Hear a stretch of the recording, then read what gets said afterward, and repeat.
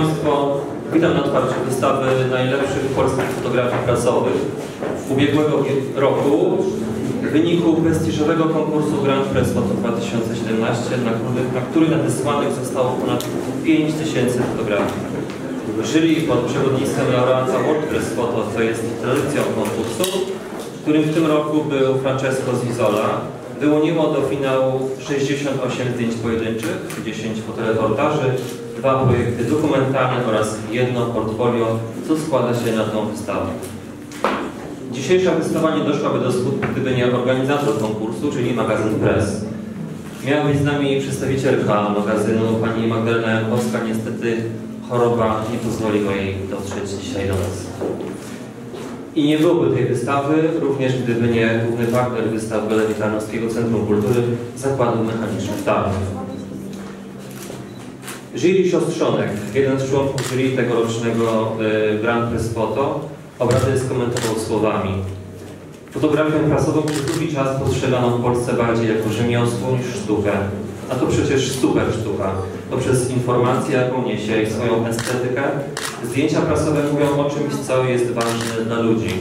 Oglądając pracę zgłoszoną do konkursu, mogliśmy zobaczyć, że na wielu jest jakaś historia, którą znamy, ale przychodzi moment, gdy kończą się słowa i następuje obraz. I to on pokazuje to, czego słowa nie są w stanie przekazać. Obrazy przemawiają same za siebie. W dzisiejszym dniu, który jest świętem fotografii prasowej w tej galerii, ale częścią tego święta są sukcesy naszych fotoreporterów. Naszych, mówię o tarnowskich fotoreporterach. Niech poza obrazami, które wykonali, przemówią oni sami. Zapraszam tutaj na środek Tadeusza Koniarza, laureata nagrody Adobe i Adobe Stock w kategorii życie codzienne.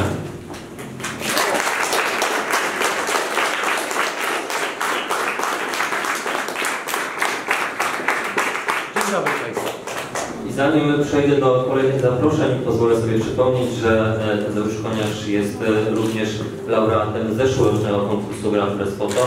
Wtedy swoim fotoreportażem e, z zamachów w Paryżu w listopadzie e, zdobył e, główną nagrodę e, w kategorii wydarzenia, jeśli się nie mylę. A teraz zapraszam do nas, do mnie tutaj Państwa Barbarę i Tadeusza Buczyńskich, którzy są bohaterami zdjęcia Tadeusza Koniarza, które zdobyło nagrodę.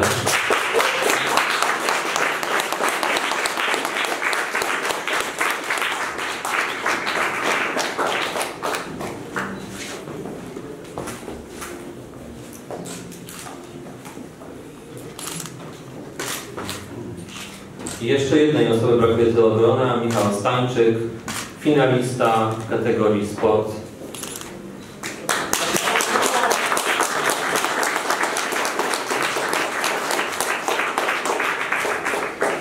Słowo się rzekło, poza obrazami niech teraz przemówią twórcy fotografii. Jeszcze raz dzień dobry Państwu. E, nie wiem, czy to jest, czy mnie słyszycie w ogóle. Ja się nie słyszę. Dobrze. Proszę Państwa, więc e, jak tutaj Marcin, Pan Marcin powiedział, e, konkurs e, Grand Press Photo odbywa się co roku. Jest to najważ- najważniejszy konkurs dla fotoreporterów. I jeszcze jest jeden konkurs ZWB Carpet Photo, to trzeba zaznaczyć. To są dwa konkursy, które oczywiście zawsze przygotowujemy. Y, I, no i mieliśmy, y, mówię też w imieniu Michała, w tej chwili mieliśmy to szczęście w tym roku, że obydwaj y, znaleźliśmy się tutaj na, nasze zdjęcia znalazły się na wystawie. Zdjęcie Michała, które przedstawia sportowe zdjęcie, które przedstawia Lewandowskiego, piłkarza. Bardzo dobrze zresztą, moim zdaniem powinna być nagroda. I moje, moje zdjęcie, właśnie zdjęcie Państwa Luczyńskich, y, które dostało nagrodę, y, nagrodę, której właśnie Marcin mówił. To jest nagroda specjalna w życiu co- codziennym firmy Adobe Stock. Powinno być zdjęcie roku, uważam. Dzięki. Też tak słyszałem, szczerze mówiąc, w Warszawie. e, rozmawiając, rozmawiając z ludźmi, ale nie będę, nie będę opowiadał, dlaczego to zdjęcie roku jest akurat na moje imię, bo to, to, jest bez sensu. Każdy konkurs y, y, wiąże się y, różnymi prawami i naprawdę zdjęcia, które są przesyłane na konkurs, a które są już w finale, to są bardzo dobre zdjęcia i myślę, że z, z 5200 y, zdjęć, czy foto, popraw, nie, bo 5000 Ponad 5 tysięcy. tak, 5200 zdjęć było nadesłanych, a wyszło do finału e, 200, tak? Więc to jest, e, a nagrodzonych było jeszcze, jeszcze mniej. E, Bo na wystawie mamy po prostu wszystkie zdjęcia e, finałowe.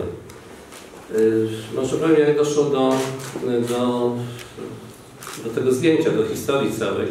E, Ja po prostu, zupełnie, był to zupełny przypadek. Dlatego, że e, jest taki konkurs Pacanowie Dzieci Świata, na który e, ten, też ten konkurs wysyłam. To jest międzynarodowy konkurs też od lat, była chyba 12 edycja już albo 10 jakoś tak. I pojechaliśmy, pojechaliśmy z grupą sprawców młodzieży, z, z moimi dzieciakami e, na plener i przy okazji ja tam odbierałem nagrodę. E, No i on- po, po całej uroczystości poszliśmy robić zdjęcia w miasto, że tak powiem. I spotkaliśmy właśnie pana Tadeusza, dziwnego człowieka w kapeluszu. Prawda? Tak się zastanowiłem, kto, kto to, a pan Tadeusz był bardzo sympatyczny, od razu e, tam opowiedział nam, co można Pacanowi zobaczyć, no i tak dalej. I od słowa do słowa poznaliśmy się, ale myśmy mieli swoją pracę do wykonania, czyli y, sfotografować jak najwięcej koziołków w Pacanowie. Tam jest dosyć dużo emblematów y, koziołka i takie dzieciaki miały zadanie. No i właśnie pożegnaliśmy pana Tadeusza, ale ponieważ Pacanów jest mały, natknęliśmy się po raz drugi robiąc zdjęcia z najmłodszym uczestnikiem. Wojtek tutaj zresztą jest dzisiaj. Nie wiem, czy zaginął gdzieś.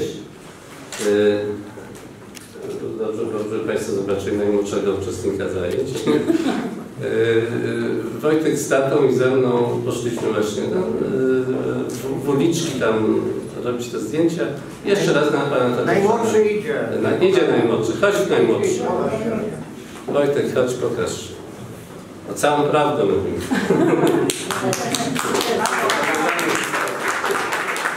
Tutaj na studencie, chodź. Koło mnie miejsce jest.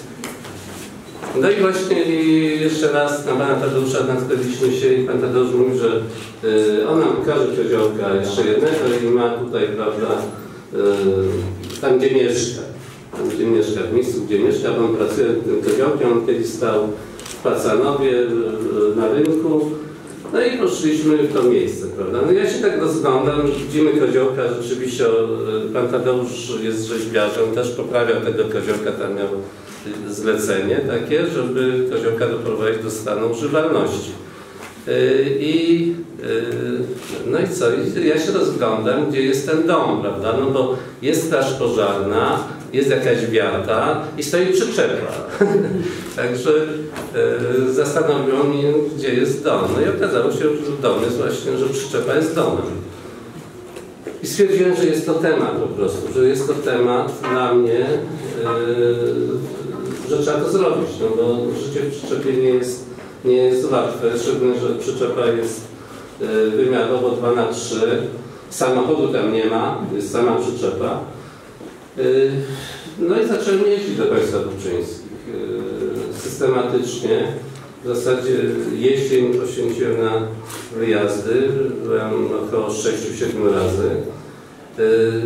Nawet udało mi się też być umówieni, Wie- wiedziałem mniej więcej kiedy Państwo będą się wyprowadzać stamtąd. Ale zanim do tego doszło, do całej przeprowadzki, to oczywiście różne historie Państwa spotkały. Tego koziołka Panu Tadeuszowi odebrały władze, bo już nie chcieli, żeby on to robił.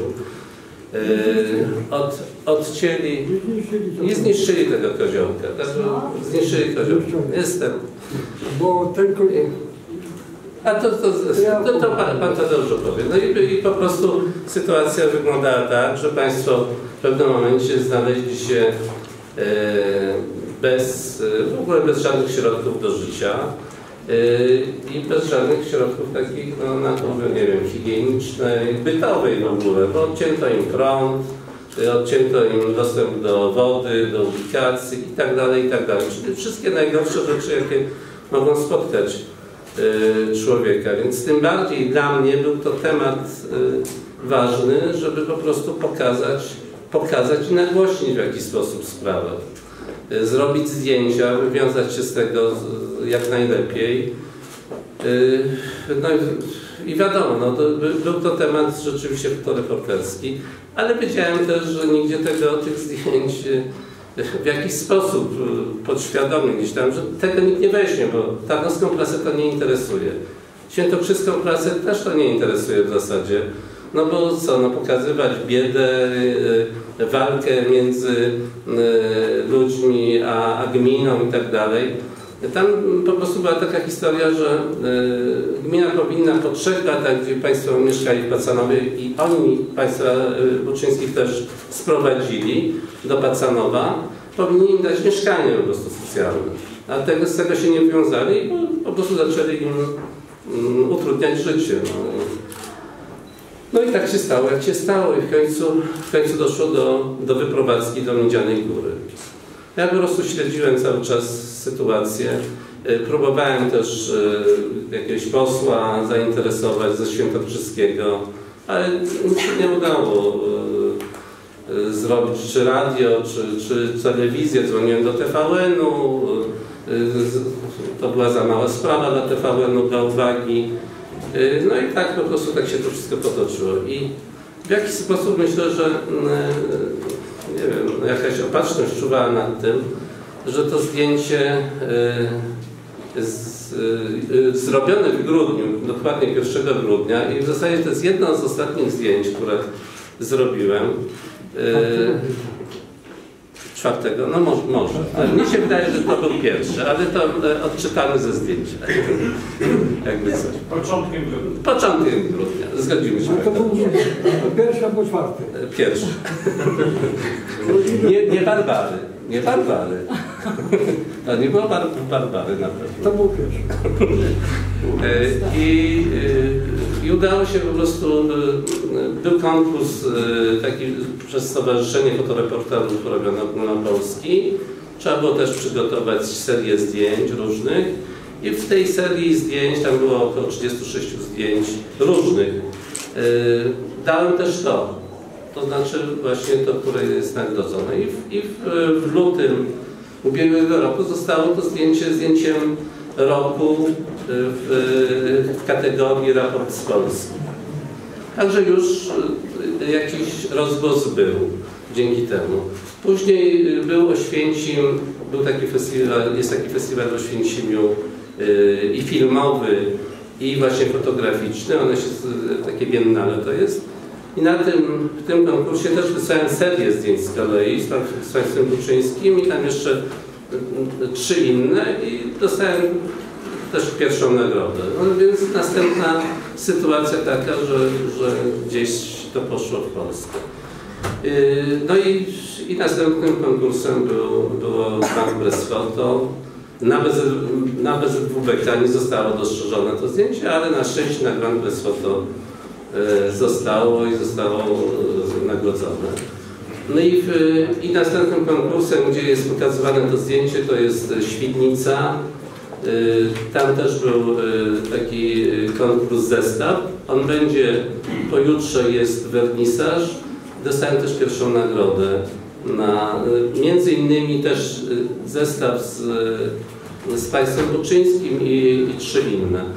Także myślę, że dzięki temu, że w jakiś sposób to zdjęcie żyje, jest y, możliwe, żeby y, jest taka możliwość, żeby dotarło do jak najszerszej publiczności. No. Dzisiaj też mamy y, taką sytuację w Tarnowie, że możemy to zdjęcie oglądać. Ono też było kiedyś w CSN pokazywane, jeszcze w marcu chyba ubiegłego roku, w, tam w takiej galerii Red, to chyba najlepiej Tomek wie tutaj. E, Red Gallery, tak? I, no, na pewno, tak. To jest taka galeria do zdjęcia. No i dzisiaj, dzisiaj mamy szansę oglądać wśród wielu świetnych zdjęć e, kolegów z Polski właśnie to zdjęcie. Także ja się bardzo cieszę z tego i mam nadzieję, że ta praca nie idzie moja, w jakiś sposób nie idzie na marne, prawda? Bo y, na szczęście właśnie ona jest dostrzeżona, więc to, to tym bardziej mnie jakby motywuje do, do następnej pracy, a następną rzecz rzeczywiście będę miał chyba też mocną, ale to nie będę zdradzał. I dotyczy, i dotyczy środowiska trochę tartowskiego.